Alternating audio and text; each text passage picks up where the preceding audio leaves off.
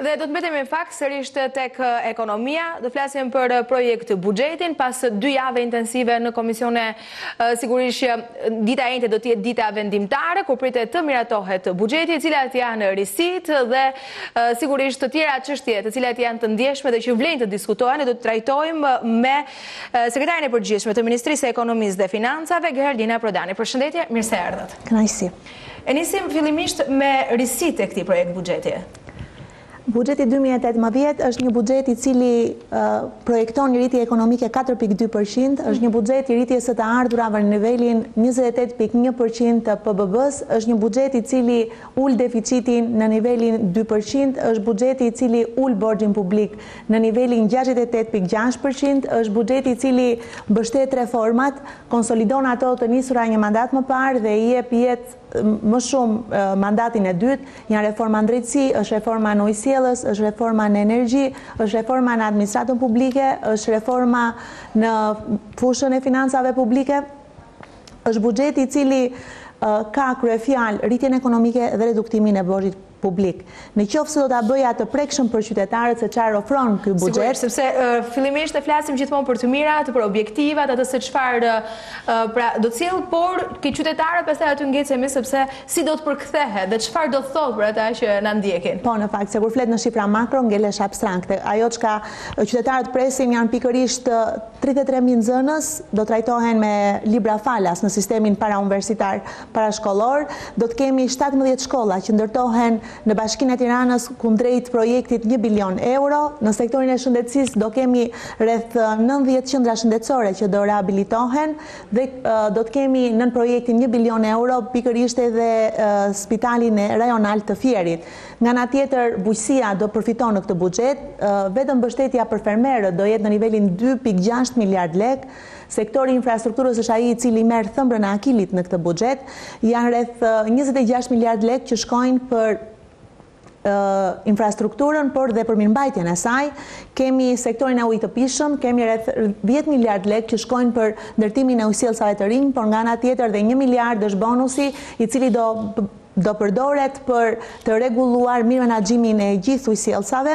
Kemi buxheti vendor merr një për qind të PBB-së, i cili e çon në gjashtëmbëdhjetë pikë pesë miliardë lekë fondin që shkon për pushtetin vendor. Përmendëm një seri, le të themi, sektorësh të cilët janë në prioritet. Ndërkohë, ju përmendët edhe bujqësinë. Megjithatë, ka patur diskutime për sa i përket fondeve të cilat janë më me pikatore, të paktën për sa i përket dy mijë e tetëmbëdhjetë-s. Çfarë ka ndodhur? Mund të dalemi pak tek bujqësia?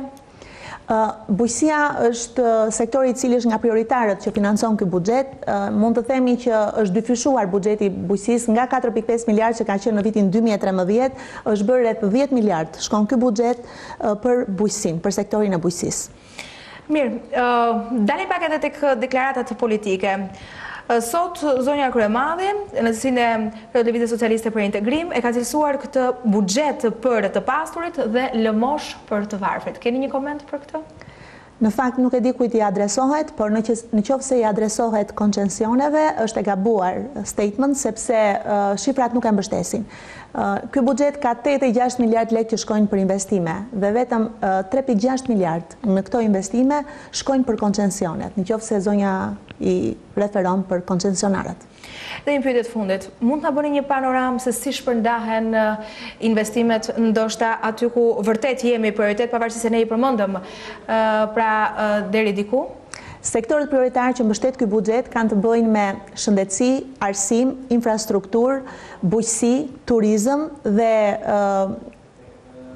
Kemi dhe Ministrinë e Mbrojtjes, e cila e shton buxhetin e vet me angazhimin që kemi kundrejt NATO-s. Ka dhe një çështje tjetër e cila thuajse është sa reale edhe politike. Ka një projekt të qeverisë i cili është një një miliard euro, projekt i cili po diskutohet me problematikë se ndoshta mund të jetë ai projekt që mund të sjellë një fenomen të pastrimit të parave. Unë e thashë dhe pak më herët që bëhet fjalë për deklarata të cilat janë në kuadër të politikës. Megjithatë, ky projekt, në gjykimin tuaj, sa realist është dhe sa transparent?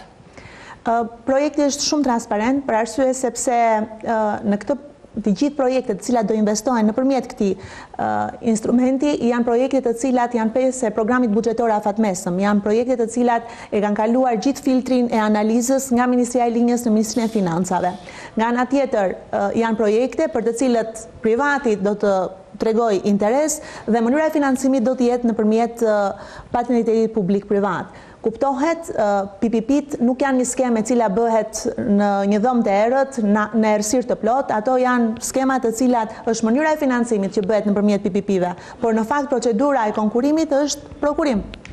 Ju mendoni se është është një skemë e e e pastër, pra, sepse ka nga ata ekspertë të cilët e deklarojnë se jo gjithçka është e qartë, mënyra se si do të ketë garë, mënyra se si do të futen këto para, si do të injektohen në ekonomi dhe si më pas do të jetë produkti final.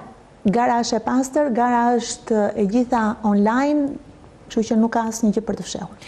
Ka dhe akuza për sa i përket koncensioneve, rolit që ato kanë në ekonominë tonë. Debatet kanë qenë sa politike ndoshta edhe teknike. Megjithatë, çfarë mund të themi për koncensionet dhe çfarë roli pritet të kenë, sigurisht dhe për transparencën e tyre?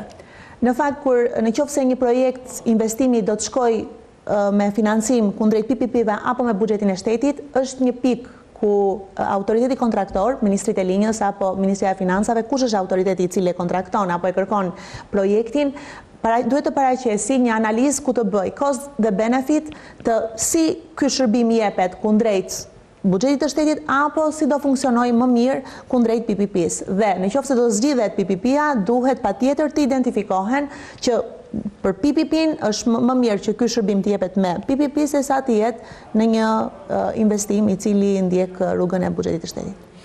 Ka edhe një pyetje të fundit, për sa i përket sektorëve të cilët të paktën në komisionet e ekonomisë kanë kërkuar më shumë fonde. Çfarë ka ndryshuar në gjykimin tuaj?